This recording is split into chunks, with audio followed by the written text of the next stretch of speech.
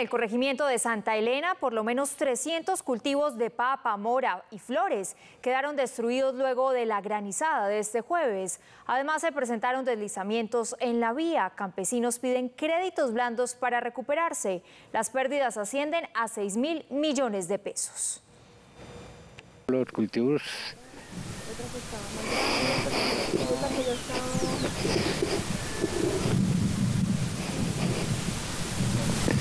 no quedó nada. Aquí no hay nada que recuperar ya. En la parcela de los Grajales, el granizo destruyó todo el cultivo de papa, cuya cosecha esperaban para este mes. Además, se perdieron flores como margaritas, bromelias, girasoles y gladiolos, que la familia iba a utilizar en la construcción de silletas. Nosotros no, no vamos a tener flores para ahorita agosto porque todos nuestros cultivos se acabaron con el granizo de anoche, de ayer. En todo el corregimiento, cerca de 350 familias resultaron afectadas por el fenómeno climático.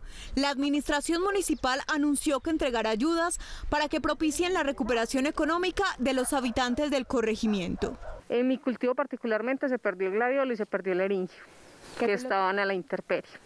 Es posible los créditos, es posible la renta básica, es posible también incluso entregar insumos para volver a sembrar todo lo que se perdió a través del fondo que tenemos, todo lo que podamos hacer, todo nuestro esfuerzo y capacidad de trabajo para que nuestros campesinos de la ciudad de Medellín se sientan protegidos. Para los pobladores de Santa Elena, el de ayer fue el aguacero anual de la Santa Cruz, uno que además de afectar la mayoría de sus cultivos, también causó un derrumbe en el kilómetro 10 de la vía que comunica al corregimiento con Medellín.